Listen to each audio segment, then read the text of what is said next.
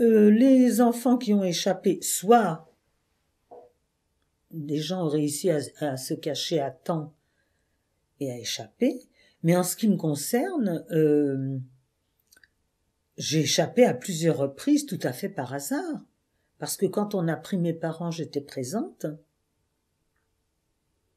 Alors on m'a dit, toi on te laisse parce que tu es française. On n'arrêtait pas encore à l'époque les juifs français, on les a arrêtés un peu plus tard, ça c'est une chose. Oh, bien sûr qu'on peut, on est obligé de ressentir de la haine. La haine pour les collabos, la haine pour euh, le gouvernement de Vichy, euh, la haine pour euh, les nazis, mais ça, on a toute une panoplie de haine. Seulement quand, dans une école, des enfants me disent Qu'est-ce que vous ressentez vis-à-vis -vis des Allemands? Je leur réponds Les enfants ne sont pas responsables des crimes de leur grand-père. Mais les grands-pères, oui. La haine, elle est là.